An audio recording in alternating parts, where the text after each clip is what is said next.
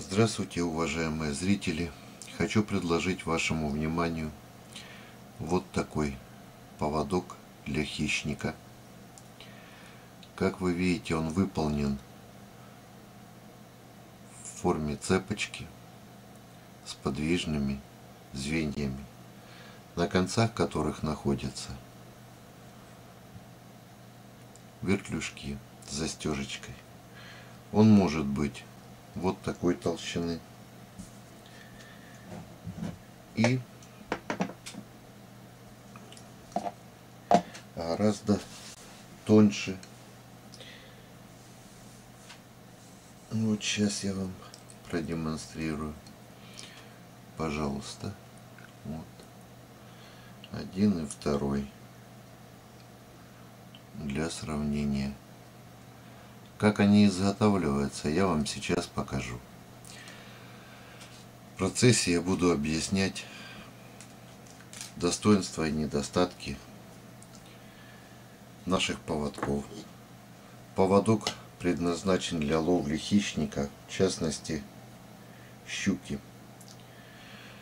Я использую не хром, обычно вот он продается у нас на рынке уже 10 метров по диаметру отмотана его. И в зависимости от того, на какую я иду рыбалку, я себе изготавливаю, начиная от 0,1 и заканчивая 0,3. Разрывная нагрузка самого поводка зависит только лишь от самого вертлюжка и застежки, которую мы используем. Я вот беру вот такой вертлюжочек как его видно. Разрывная нагрузка его от 4 до 6 килограммов.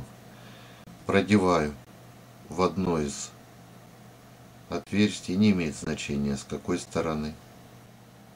Заводим за колышек.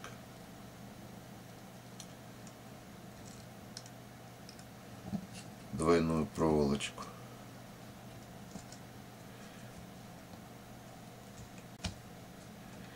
Придерживаем чтобы не соскочило.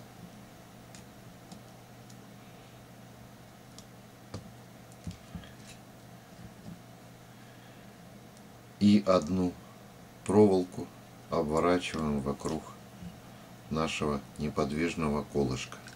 Получается, один конец у меня находится с этой стороны, вот он, второй конец у нас вернут вокруг колышка. И теперь делаем одинаковое количество оборотов на все звенья и в одну сторону. Для такой проволоки толщины я делаю 5 оборотов вперед. Раз, два, три, четыре, пять. Как видите, нагрузка у нас нормальная. Больше докручивать нам ничего не нужно. Для удобства, чтобы не оставлять большие концы, я беру вот такой инструмент и начинаю отламывать. Почему не откусывать? Потому что в момент откусывания всегда остаются острые края. И с этой стороны точно так же берем и отламываем. Отломали.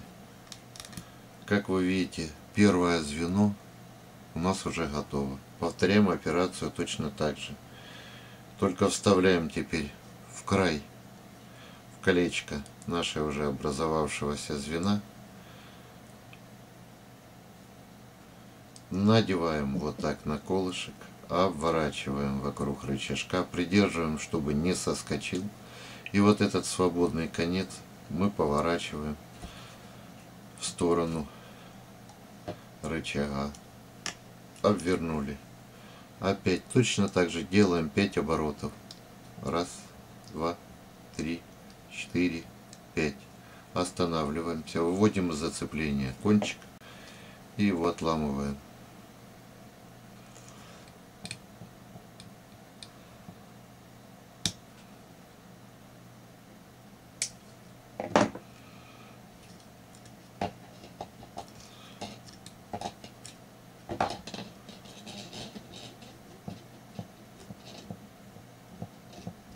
Отломали. Вот у нас получилось два звена. Они достаточно подвижные. И также продолжаем дальше. Я сделаю паузу. По завершении с вами встретимся. Вот я уже провязал 12 змеинил вместе с вертлюжком одним, вертлюжком вторым и с застежкой у нас получится ровно 14-15 сантиметров. Одеваем вот так вертлюжок. Сперва вертлюжок, потом продеваем в колечко нашей цепочки и одеваем на наше приспособление так, как я вам показывал в самом начале. Вертлюжок должен находиться у нас за нашим рычажком. Придержали его пальцем, чтобы он у нас далеко не улетел. Обхватываем.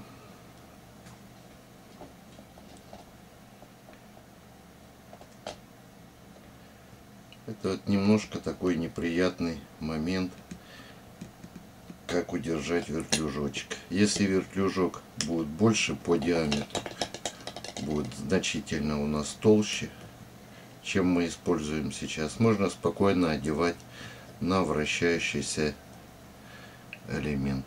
И начинаем прокручивать. Как вы видите, рычажок находится в таком положении, вертлюжок находится на проволочке. Следим за тем, чтобы они не перехлестнулись. Один оборот,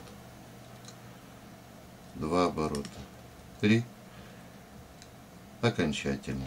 Теперь мы берем удаляем остатки.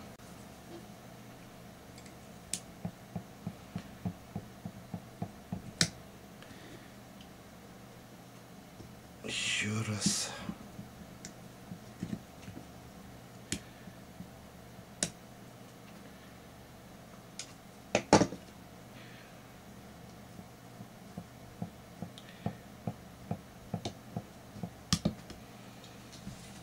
И вот наш поводок готов. Толщина проволочки здесь приблизительно 0,2. Если рассматривать его по разрывной нагрузке, только лишь зависит от самого вертлюжка. Сам, сама проволока выдержит у нас разрывную нагрузку порядка, ну, я обманывать не буду, но ведро воды поднимает, полное. Вот я одел застежечку и наш поводок готов к рыбалке. Основным минусом, как многие будут говорить, что он светлый, так как он выполнен с нехрома, нехром спокойно поддается любой окраске с помощью пропускания через него электрического тока. Или же можете его просто подворонить в кипящем масле.